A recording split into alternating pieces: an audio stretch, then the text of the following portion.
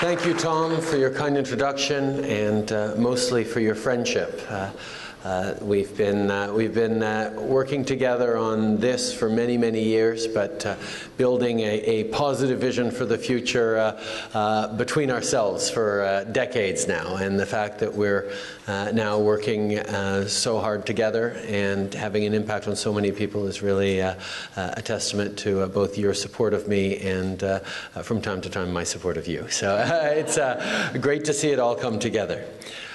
I'd also like to thank Canada 2020, the Centre for American Progress and Global Progress for hosting this event today.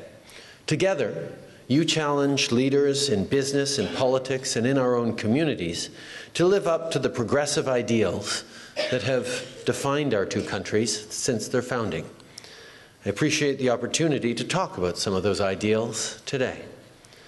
But before I do that, I want to take a moment to reflect on the last few days. It's been an incredibly important time for me, for Sophie, for our entire delegation. There are parts of this visit like this that are undeniably fun. I mean, uh, last night's state dinner was uh, uh, was uh, was just wonderful. It was a coming together of uh, uh, friends who had much in common, much to much to celebrate, and not just at the head table, but across across and throughout the room. But other parts of it feel a little more personal. The visit to Arlington this morning to lay wreaths at the tomb of the unknown soldier was very powerful and moving. Equally moving was visiting the Canadian Cross of Sacrifice, a tribute to the many American citizens who died while serving in the Canadian Armed Forces during the First World War, the Second World War, and the Korean War. The US and Canada both owe a great debt to the men and women who served their respective countries, and as we know, uh, highlight yet again the interchange, the flow, the coordinated cooperative engagement that we've had so many times uh, on an individual and a collective basis over the years. And of course, we've had a very productive visit. We came here to get things done. And on that front, I think our time in Washington has been a tremendous success. We committed to signing the historic Paris Agreement as soon as possible have agreed to a number of shared steps that will take to fight climate change. We will facilitate the movement of people and goods across our shared secured border by ratifying the pre-clearance agreement and extending pre-clearance services to new locations in Canada. And we announced a new partnership to build a sustainable Arctic economy. Je suis fier des progrès que nous avons accomplis dans ces dossiers parce qu'ils comptent pour les Canadiens et que je sais qu'il compte aussi pour les Américains. Alors que nous nous tournons vers l'avenir, nous voyons l'occasion de laisser à nos enfants et à nos petits-enfants un monde meilleur que celui qui nous a été légué par nos parents. Mais, par-dessus tout, nous savons que nous en avons la responsabilité.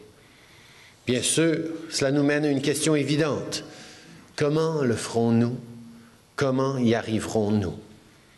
Or, j'ai jamais prétendu d'avoir toutes les réponses, mais lorsque Global Progress m'a demandé mon point de vue à ce sujet pour leur nouvelle publication, j'étais heureux d'avoir la chance de partager mes idées. I think there are four things that stand out in particular as essential to the future success of progressive politics in Canada, in the US, and beyond. First, Real progress demands an inclusive economic vision that gives all citizens a real and fair chance at success. It's why we made a middle class tax cut a central part of our election platform and why it's been our number one priority since forming government. Second, progressive leaders need to promise greater openness and transparency, and they need to deliver on that promise. This might involve structural change like electoral reform, or it might mean adopting a more consultative approach to governing. However, they manifest, openness and transparency are no longer simply optional for progressive governments. Third, progressive voices around the world must do more to encourage innovation, not as an end goal, but as a means to extend the ladder of opportunity to more people. As I said at the World Economic Forum in Davos, technology is poised to deliver spectacular progress. But if we're not careful, it could also deliver more unemployment and greater inequality. The outcome will be determined by the leadership we show and the choices we make. And fourth, no progressive movement can succeed if it doesn't embrace the fundamental truth that diversity is strength. Canadians know this. We live this truth every day. And so do our American friends. The optimism and the generosity that we see in our communities on both sides of the border, that's what we need to focus on. You see, fear is easy. Friendship, friendship takes work. But Canada and the United States have proven time and time again that finding common ground is worth the effort. On our own, we make progress, but together, we make history. For my part, I'm optimistic about the work we've done here in Washington over the past few days. I'm optimistic that it will continue to pay dividends well into the future. I think that's enough speechifying for now. I know you have some questions for me, and I'm looking forward to sitting down with Neera and hearing what it is that you all have to ask and share. Thank you again for taking the time to be with me here today. Merci beaucoup.